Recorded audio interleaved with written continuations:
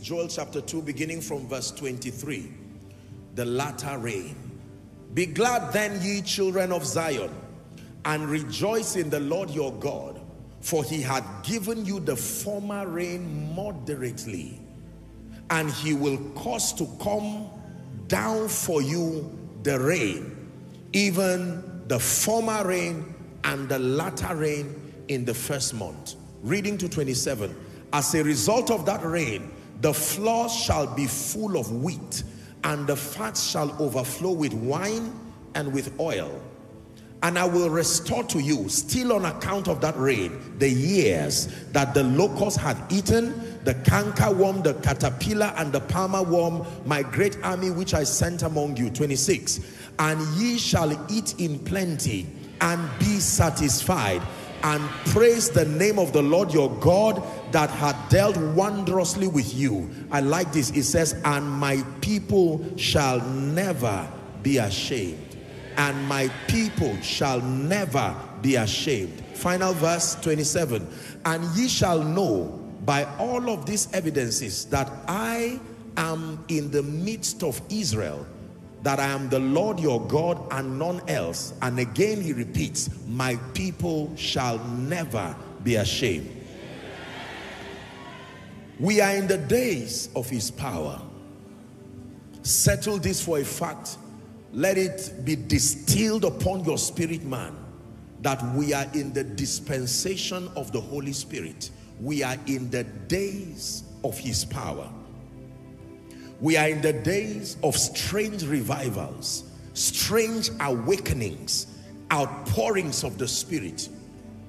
Days where the power of God is ready to be on full display like never, like never before.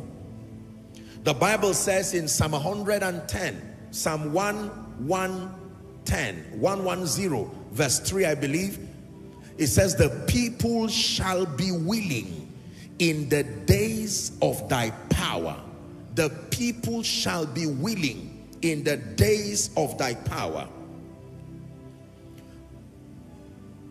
I have seen these formations and right now like droplets it is beginning to amplify from Nigeria parts of Africa across Europe you know down west. The Spirit of God is moving with full force as we begin to prepare to wrap up this church age as we know, the Spirit of God knows that there is still much to be done and there is an acceleration system in the spirit and that is coming through an outpouring. There are end time anointings. There are end time mantles. There is a quickening that is happening to the saints like never before. Accelerated trainings by the spirit of God because of the urgency that is at hand so settle it for a fact that we're in the days of his power. A day where we will see the manifest power of God in the midst of his people culminating to salvations, healings, territorial transformations like never before. And let me tell you the truth. The purpose of announcing this to you is to remind you that you are part of that army. If we are in the days of his power, then it's important for you to know that the power of God depends on how many vessels are willing and are aligned to be endued with that power. I said, tarry ye in Jerusalem until ye be endued with power from on high. All through scripture and even from modern history, we see moments of awakenings, moments of outpourings, moments of signs and wonders where territories were literally held at a standstill because a few people, individuals sometimes, or groups of people who were able to align with the spirit, they carried strange fires and they blazed that fire throughout their time, throughout their cities are we to talk of the Welsh revival or the Azusa Street revival or many that have come before us? And now, even in modern history, men and women who shook nations history books are full of their exploits. Unfortunately some history did not do justice to the level and the extent of power that they carried. We only know what history told us about them But we know for a shorty that with the kind of alignment that these men and women had towards God, they must have done greater than what history told us. And now there is a new page in the spirit that has been opened. It's time to write someone else's story because that book did not stop. That archive of wonder-working miracle workers, that, that, that history book in the spirit, it was supposed to be a continuation. The apostles wrote their own. The patriarchs wrote their own. Everyone, now the page is open for you.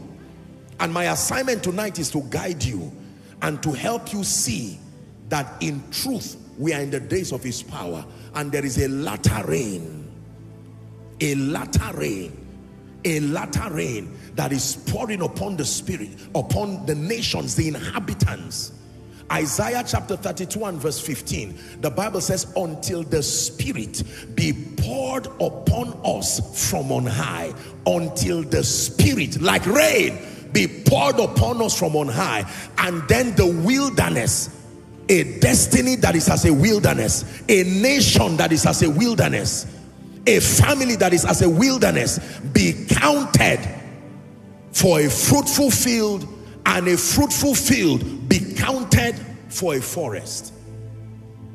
Let me paint for you a little picture of what an outpouring looks like. Let me paint for you a picture of what a season of prophetic awakening looks like. Because for many of us we do not have an idea what does it look like. How do I know that this is a season of outpouring what does it look like? In agriculture most of us know when the season of a harvest comes. You know how the crops look. You see how busy the farmers are. You also know how a planting season looks like those who are students, you know how it is when school resumes and you know how it is when there is holiday. So you can literally look at a picture and tell what season it is. When you see a school empty without any word of knowledge, you just say they are most likely having holidays. When you see a lot of students, they most likely have resumed. You can look at the atmosphere and the spirit and you can tell with precision because there are events that follow the prophetic speakings of God. So let me paint for you a picture. What does it look like when God is moving? What does it look like when the Spirit of God finds unrestrained access through a life, through a church, through a ministry, through a vision, through a family, through a destiny, through a business, through a territory, what does it look like? What does the move of God look like? What does a season of signs and wonders look like? What happens? Show me a picture of an individual who is experiencing a revival and an outpouring. If you do not have that picture, you will lose out on prophecy and lose out on seasons. It says the Lord was in this place and I knew not.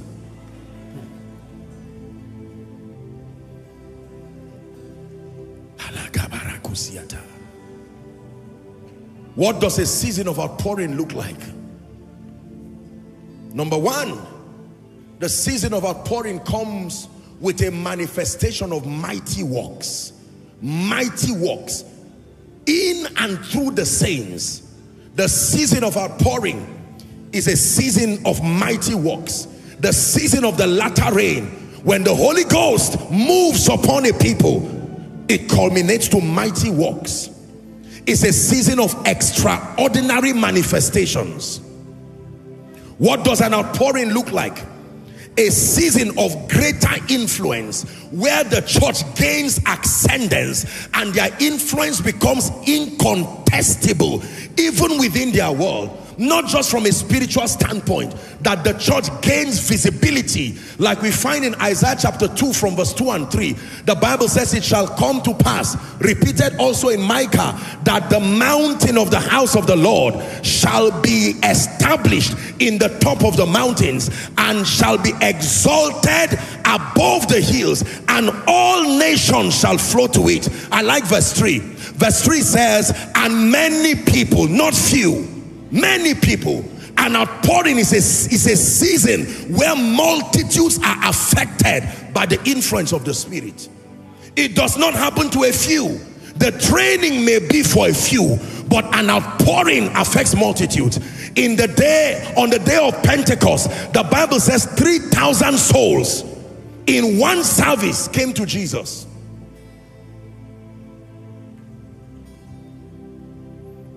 The season of the latter rain is a season of mighty works, not mighty discussions about works, doing exploits by the Spirit. The season of the latter rain is characterized by greater witness. Greater witness. Acts chapter 4 and verse 33. The Bible says, and with great power. Acts, did I get that right? 433 and with great power gave the apostles witness of the resurrection of the Lord Jesus and great grace, my God, great grace was upon them all. The season of the latter rain comes with grace to be a witness like never before, to bear witness to the truth. John chapter 1, 6 and 7 the Bible says there was a man sent from God whose name was John. Verse 7, it says the same came for a witness to bear witness of the light that man through his witness, the abundance, the quality of his witness might believe. Witness with signs, witness with wonders, manifestations of miraculous, you know, occurrences of the spirit John chapter 20, 30 and 31, the Bible says many other miracles, signs, truly did Jesus in the presence of his disciples, which were not recorded in this book. Next verse, but these are written. They were documented that when you read them you might believe in truth that Jesus is the Christ and the Son of God and that in believing you will have life through his name. Let me tell you the truth one-on-one -on -one evangelism as we know it will not get the job done. There needs to be an outpouring that will save nations in one day.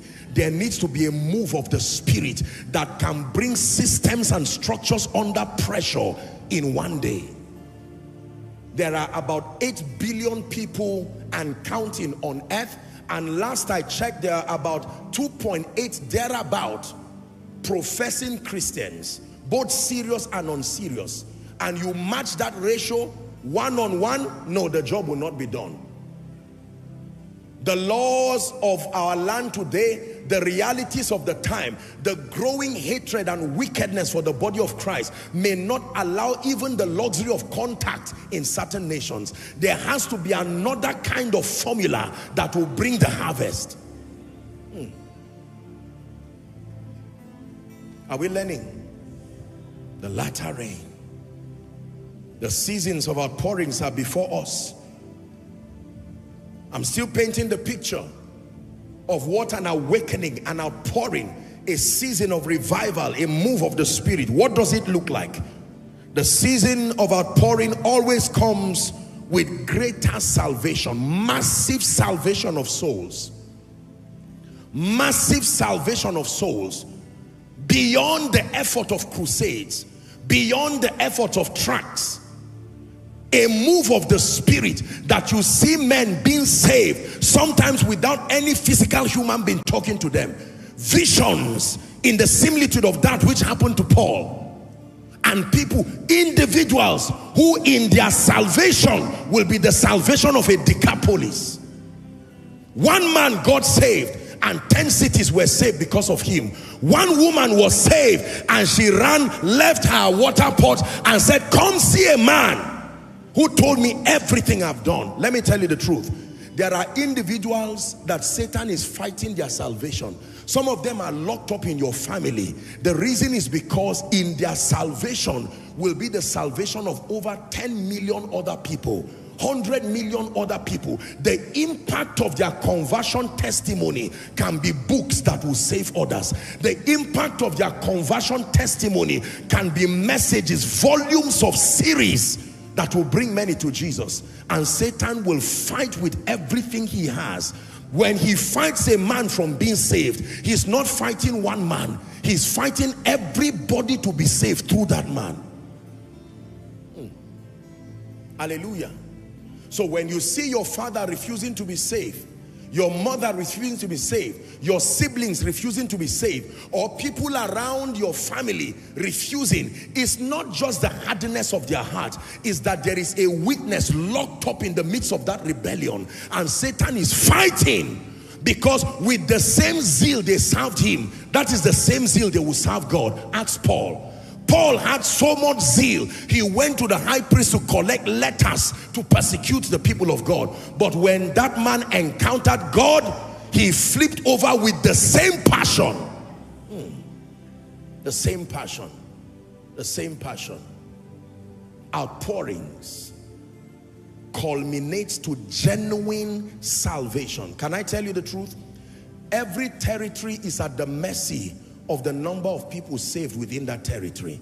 Every territory is at the mercy of the number of people saved within that territory. For as long as there are only few people saved within a territory, it means that there are many bodies Satan can use to fight the purposes of God. He says, a body has thou prepared for me. When we advocate the salvation of men and the salvation of territories, it is because Satan or any spirit for that matter depends on the availability of destinies and bodies for their purposes and their agenda to find expression. When it has to do with the business of salvation, numbers matter. Did you hear what I said? When it has to do with the business of salvation, numbers matter. Having five people saved genuinely and growing and having 1,000 people saved genuinely and growing, the spiritual impact will not be the same. Not be the same. Not be the same. Not be the same.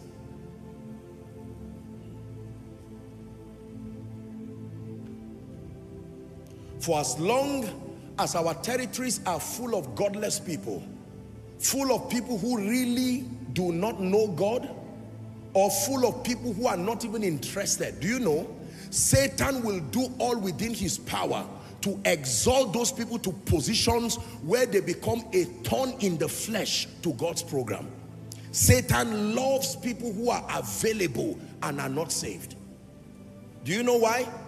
He places them in positions where it makes it difficult for the witness of the saints to penetrate that environment. Hallelujah.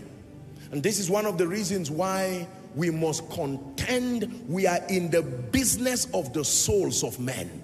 We are in the business of the souls of men. Let me repeat it again. We are in the business of the souls of men. Every single soul that Jesus died for matters as far as God's end time program is concerned. The average believer is not conscious of soul winning. We do it sometimes just to ease the guilt of religion and so that it doesn't look like we're not serious with God. But most people have not caught the burden in the heart of God for souls. You don't have to be an evangelist. You just need to understand God's program. Hallelujah.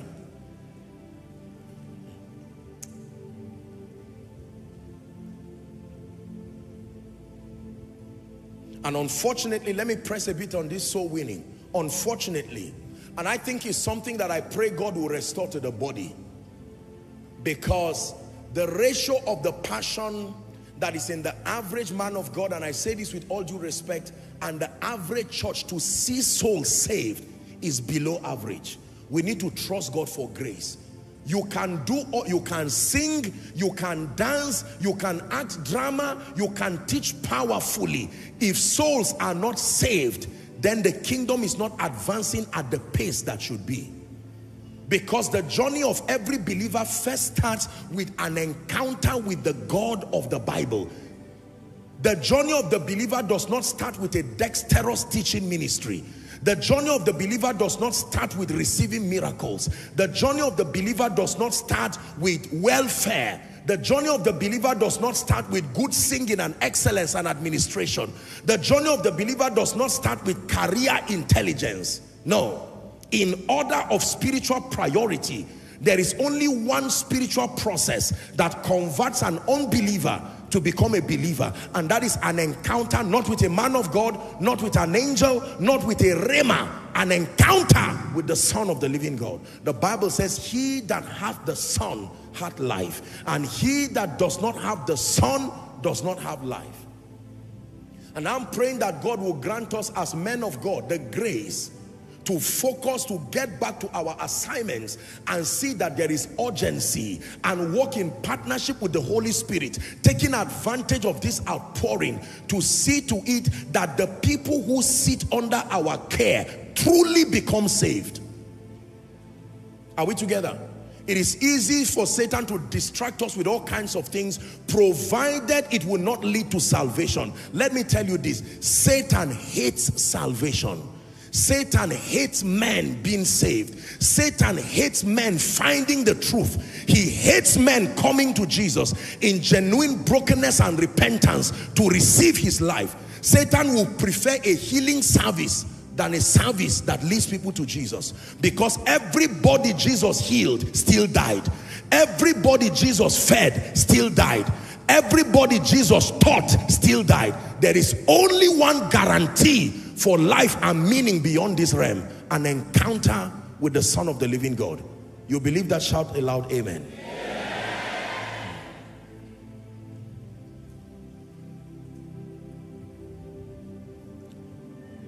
No matter how successful we are, real success in life, in ministry, and in destiny is measured by how many people came to Jesus through your life before other things.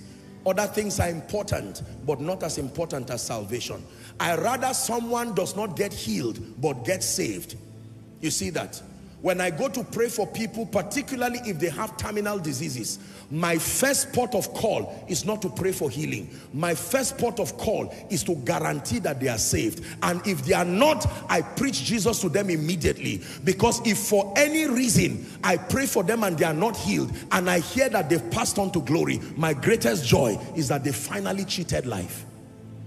But if I pray for someone and they say, oh, the cancer went, this one went, and the person is not saved, I did not do much.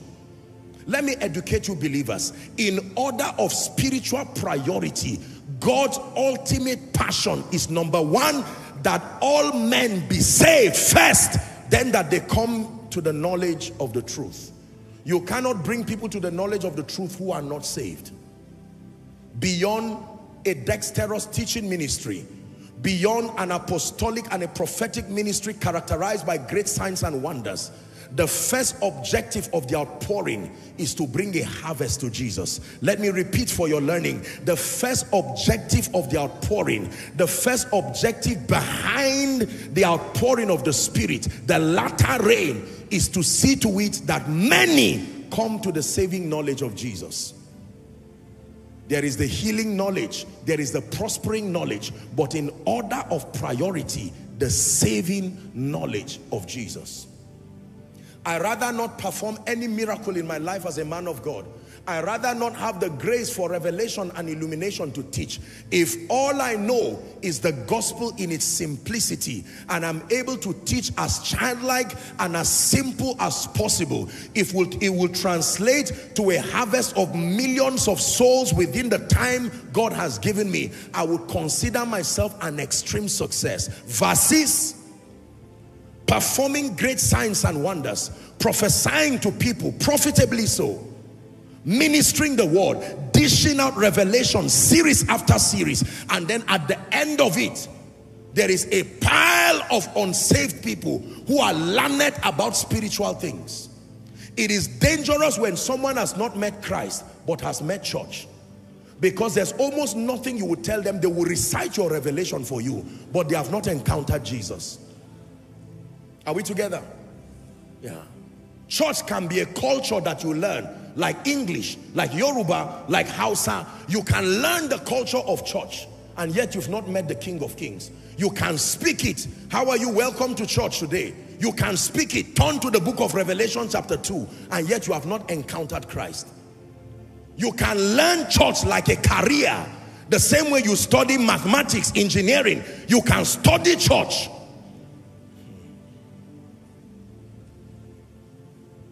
the greatest and the highest objective of the outpouring is to see that people are translated from the kingdom of darkness. Ladies and gentlemen, and those people include our family members, our unsaved ones, distant or otherwise, that they come into a saving, functional knowledge of Jesus.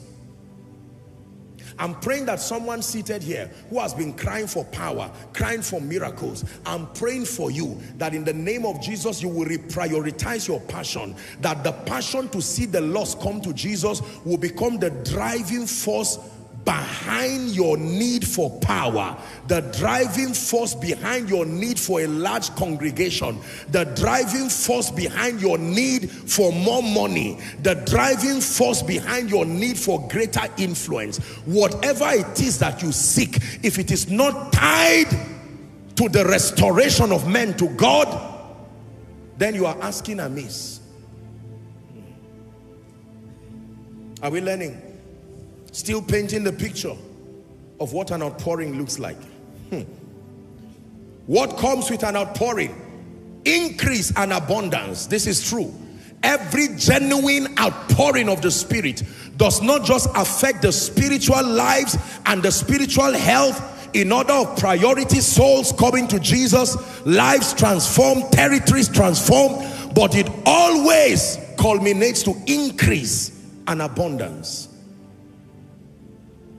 all through modern history and even from scripture every time there was an outpouring it started by repentance and brokenness and then the Lord heard them and the Lord healed the land. If my people, the Bible says, which are called by my name shall humble themselves and pray and seek my face and turn from their wicked ways. Listen, it says, then will I hear from heaven and I will forgive their sins. But I will not just stop at forgiveness. I will heal their land. The healing of the land talks of prosperity.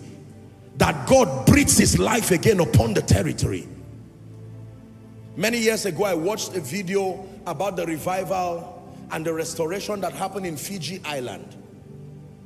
It was so touching. It was such a blessing to me. It inspired me. I watched how that because of the rebellion of the people, I think they murdered some missionaries or something like that, and an indignation rose to heaven, and everything that produced within that territory based on that documentary, it sees the fish stopped multiplying in the river. The earth stopped bringing its increase. And the people got sad. One time, a group of intercessors, prayer warriors, they began to pray for a restoration and revival within the Fiji island. And the Spirit of God ministered to them that there were certain things that needed to be put in place if they wanted to see the power of God come and they looked for the grandchildren of those missionaries they killed, invited them over in the land, apologized to them nationally. And then they said when they finished by, was it the next day or the next week? I can't remember exactly. The river was flooded with fish. This is a documentary I watched. God heals the land. God can prosper men. Let me tell you the truth.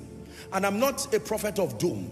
But in scripture, there are times that famine and economic toil, turmoil comes as a result of the sins of the people.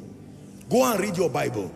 That when people sin against God territorially, corporately, when they become proud and full of themselves, among the many ways God draws them is to touch the economy of that territory.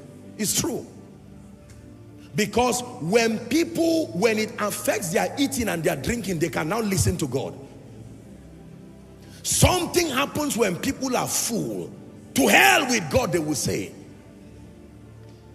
So, any nation and any territory that begins to find out that economically speaking, things are going down. Among the many policies that must be enacted is genuine repentance to say something is wrong. If the earth is reacting, the atmosphere is reacting. These are forces that are alive. They react. They react. It was on account of the sins of the people that Elijah prayed and there was no rain.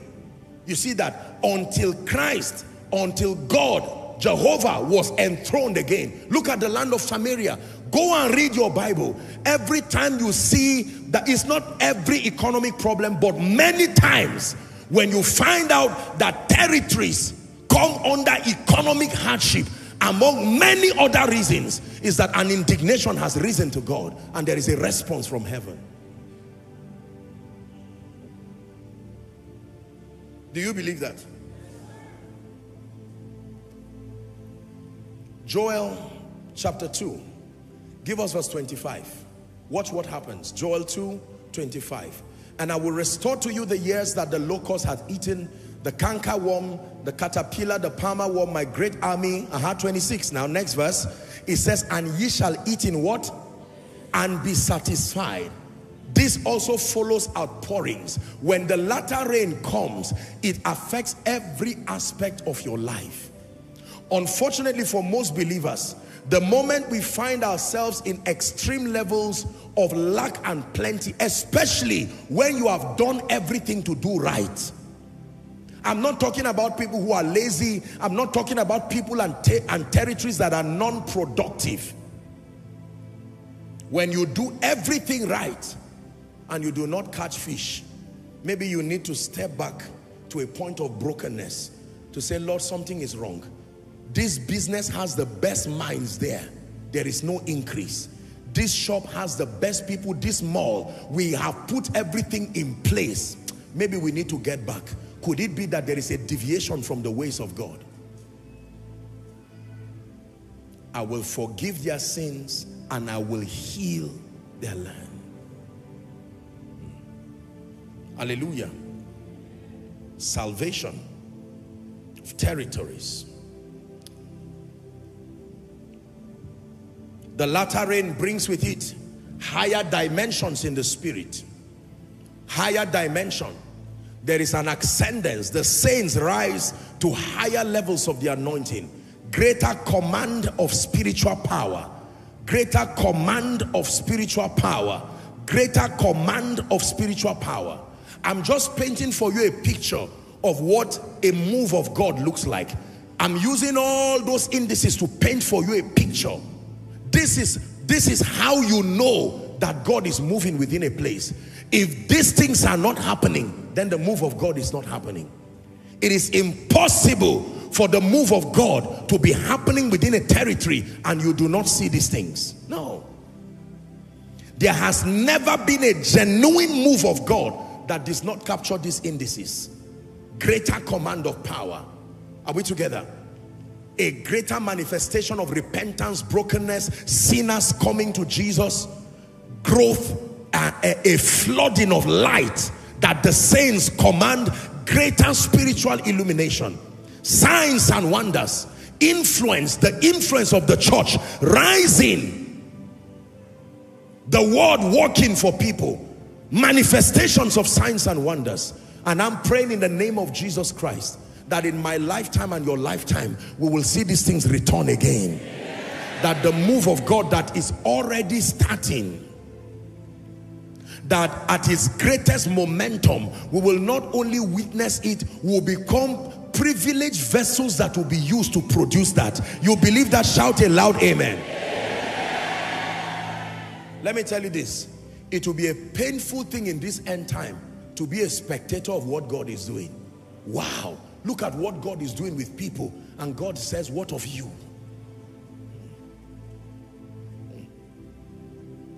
The latter rain. Now,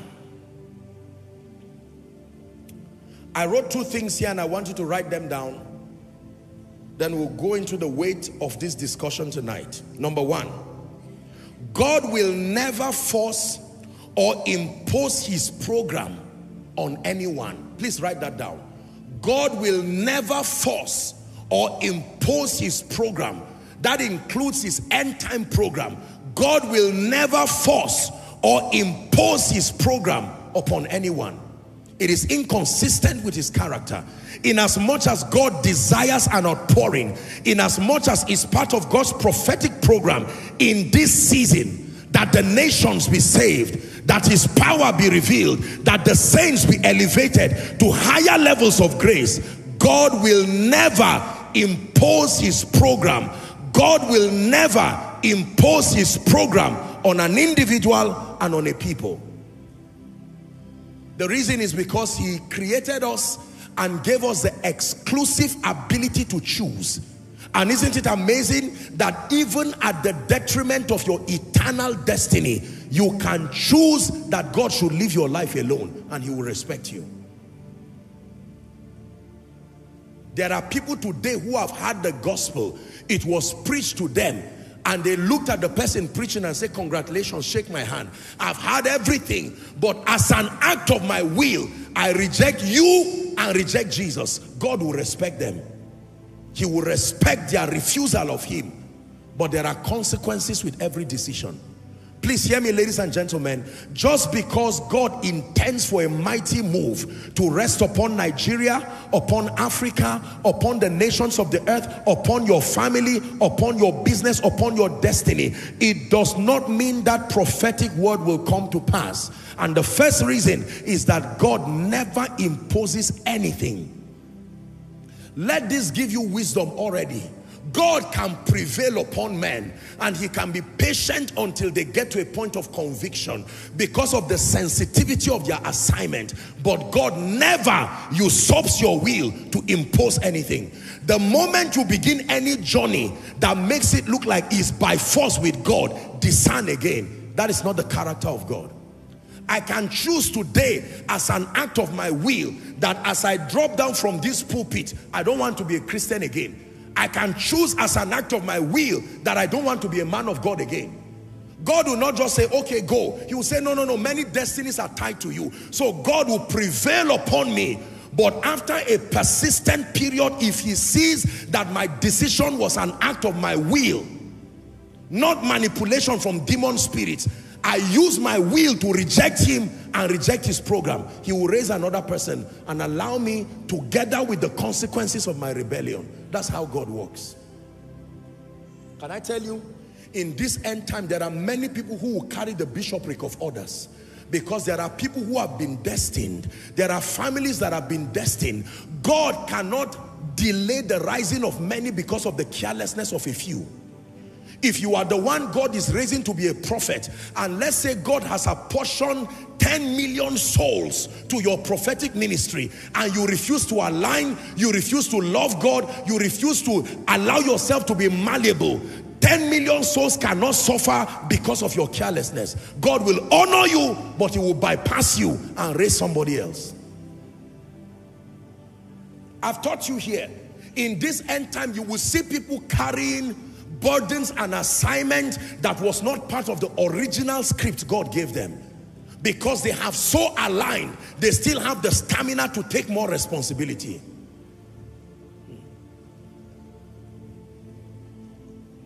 Hallelujah. May no one replace you. Oh. I'm praying for you. May God not become tired of waiting for you that he will have to raise a replacement for you. If you are the one ordained to bring your family to the saving knowledge of Jesus, this is a clarion call as you are listening. God is merciful, he's patient, but he's also loving. And his love exceeds all his other attributes. In fact, God is love. God is not mercy. God is not kindness, but he is love. He shows mercy, he shows kindness, but the epitome of who he is in one word is love. And God will rather one person face the consequence of his carelessness and decision than nations come under the judgment of the carelessness of one person. This this is how God works. Are you understanding me so far? So for someone you are seated and God is saying how long? Do you know that by now, if you had stayed with me, there are certain graces you should be walking in now by now that apostolic ministry that prophetic ministry that evangelistic ministry that ministry of kingdom financing maybe based on your prophetic blueprint if you had walked with God sincerely by now you would have accessed the measure of wealth to now begin to serve God's program. But you are just beginning. And God is saying no it should not be like this. He's calling you and is telling you it's time to stop giving excuses to brace up your spirit for an encounter that translates you to a mighty vessel. And I pray for you, help them please, in the name that is above all names, I'm praying for you, whatever is causing the spiritual laxity, that cancer that is eating up your spirit, that will not allow that new wine to emerge, let it die this night. Let it die this night. Let it die this night. In the name of Jesus Christ. Please be seated. Please be seated.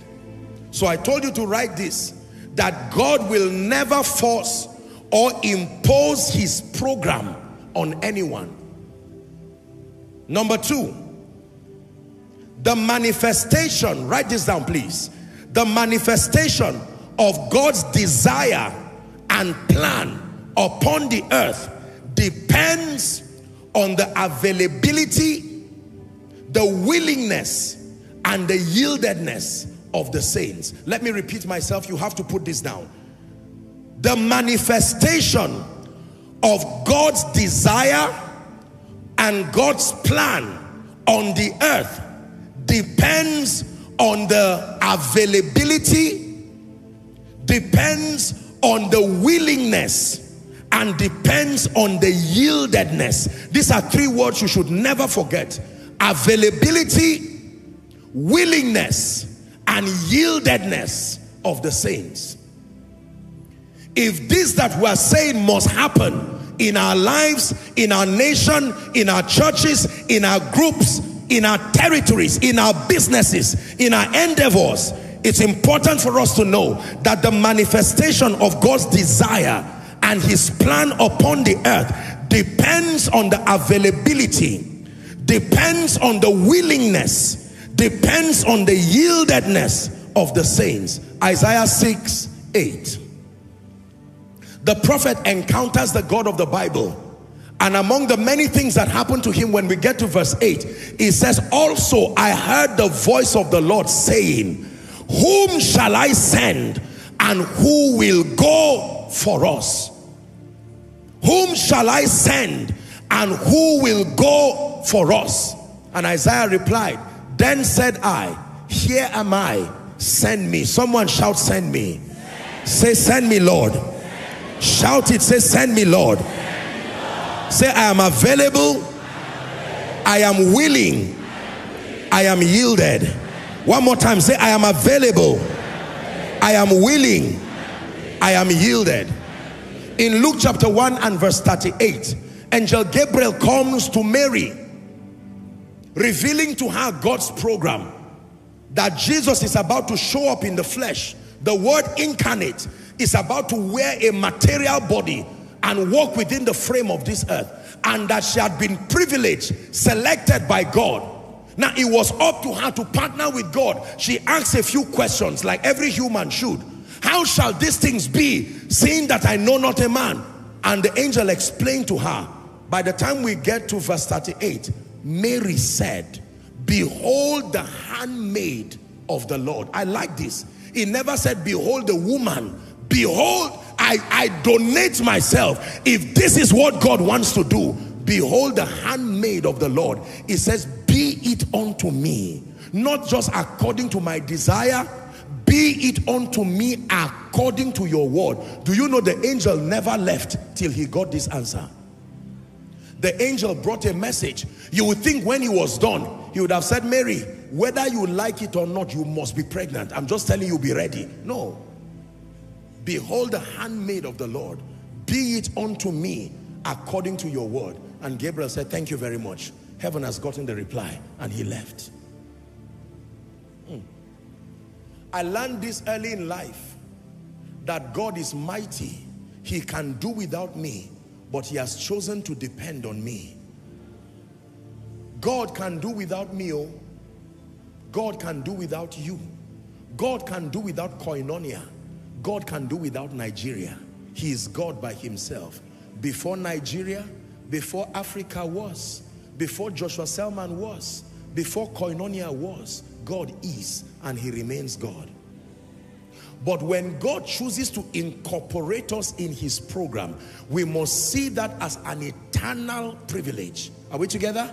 You must see that as an eternal privilege and then open up your spirit to plunge into what he is doing. Knowing that God can do without me, but my God, he has chosen to bring me as part of his end time army. God can do without your family, but he has chosen to incorporate your family.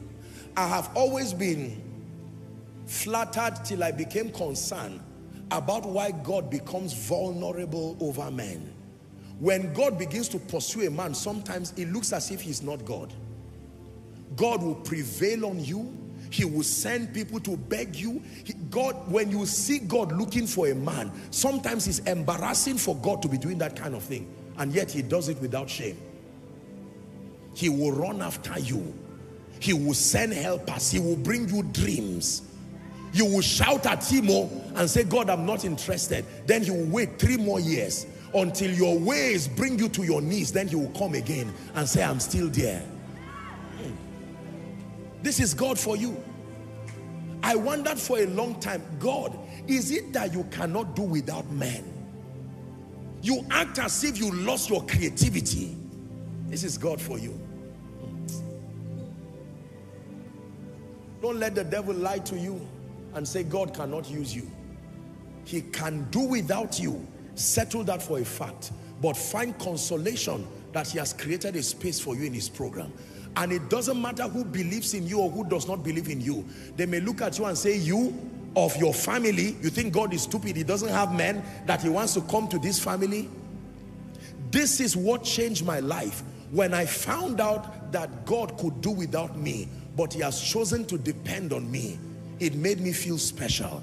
It made me feel unique. And I said, for this, I will run and spend my days honoring that trust.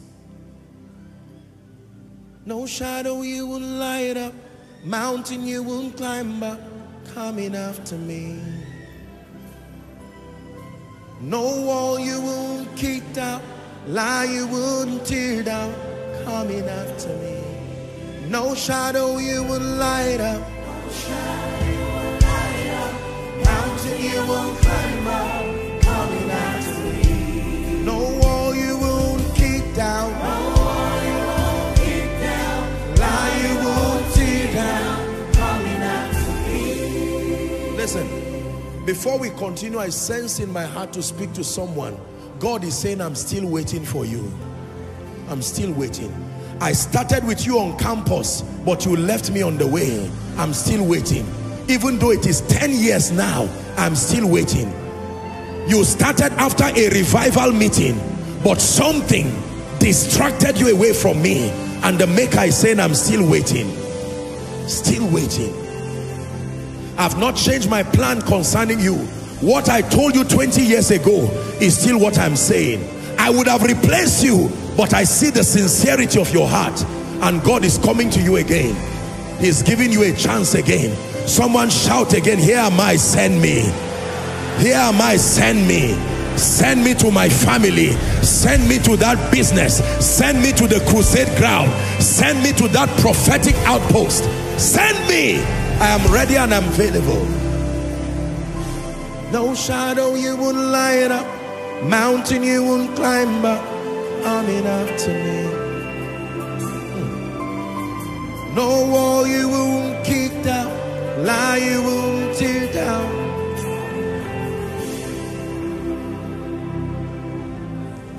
When God insists on finding a man, he becomes vulnerable almost to a point of shame and he does not mind.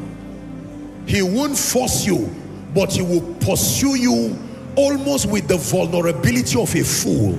He will wait for you.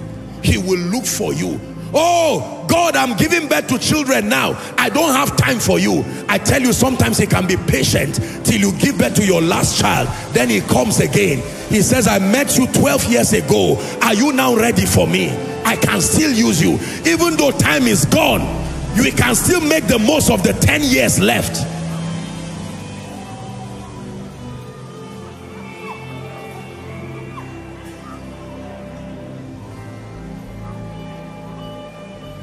This is God for you. Koinonia, this is God for you. Oh, the overwhelming, never-ending breath.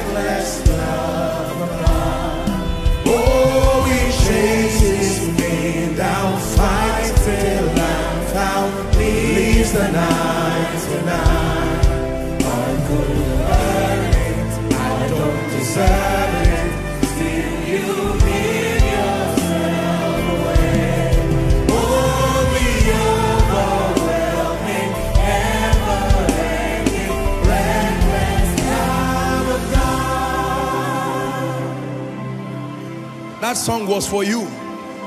God is still looking for you.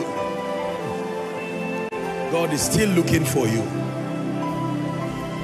God is not like a man who abandons people. He can be patient. You've roamed around your life running away from God, but you are still a prophet. That mantle is still hovering around you. You've roamed around running away from God, but you are still an evangelist. Those souls are still come. You've not opened your mouth and told God no. And because you've not told him no, he is still patient. He's still patient. He's saying you are still Esther. He's saying you are still Deborah. He's saying you are still Abraham. You are still Gideon. Provided you've not opened your mouth to reject the call, he will still chase after you.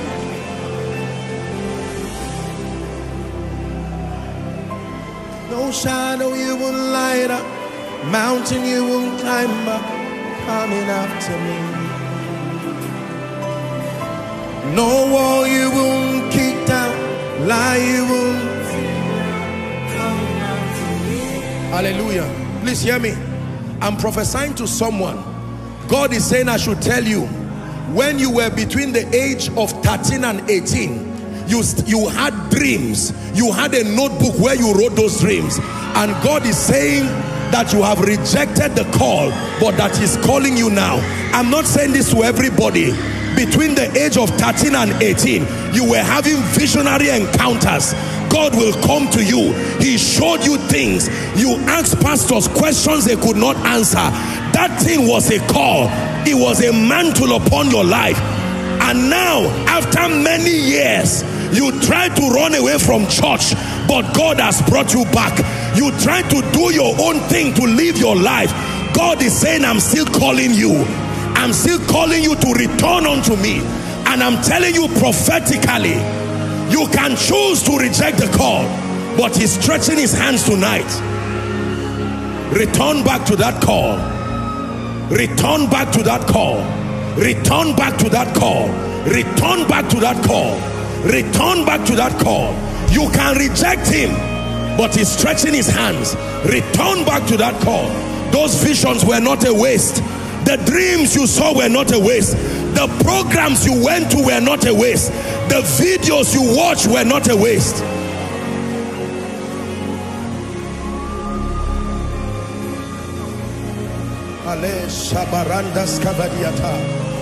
Someone shout again, say, Here am I. Send me. Here am I. Send me. I am available. I am willing. I am yielded. I am available. I am willing. I am yielded. Listen, listen, listen. Please, I want you to listen to me. I will return back preaching, but I'm prophesying now. I want you to listen to me. I'm hearing in my spirit again. This is particularly to a lady. This is particularly to a lady. The Lord is telling me that I should tell you that there is a healing ministry God promised you. A healing ministry He gave you. But until now, you have not opened up your spirit to receive that anointing. It's a healing ministry. Not just a teaching ministry. Not just a prophetic ministry. It's a mighty healing ministry. You have seen this many times. Prophetic words have come concerning it. But you see, let me tell you, for every call, there is a consecration that follows calls. Just because God called you does not mean you will become. Don't let people die because of rebellion. No. There are people here who have been called by now. You should have been commanding wealth of nations for the sake of the kingdom. But because you have chosen to do it your way, the foolishness of God's way, you see, God's way does not make sense. You can push him and say, I know how to make money by myself. And you keep struggling and going around in circles. If you patiently followed his way, you would have stepped into your Rehoboth.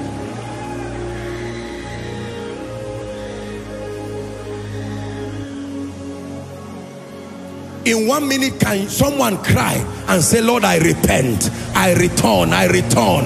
I repent. I repent. I'm tired of going my own way tired of creating my own programs for my life. Come on someone is praying. You're following online pray. I'm tired of inventing my own way to live in my life and my destiny. I'm ready to return to the blueprint. I'm ready to return to the manuscript no matter how you've deviated his mercy can bring you back.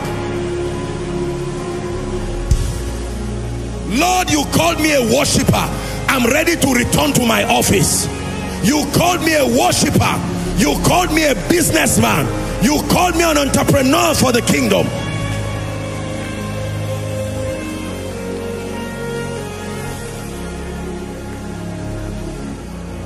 Take a minute to pray that genuine prayer of repentance. To repent means to realign. To repent means to realign. To repent means to realign.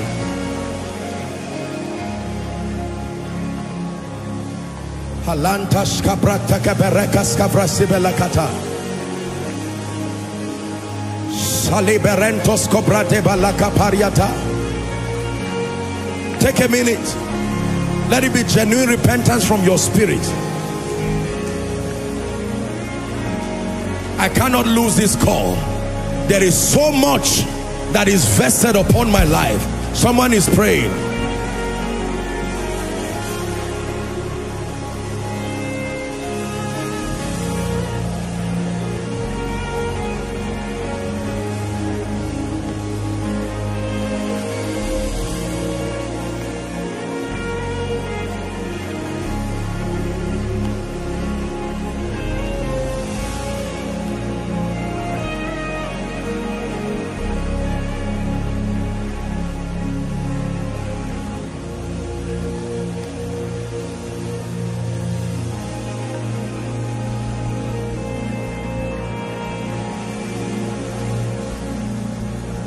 Jesus' name we pray. In Jesus' name we pray. In Jesus' name we pray. Please sit down. So the manifestation of God's desire and plan on the earth depends on the availability, the willingness, and the yieldedness of the saints.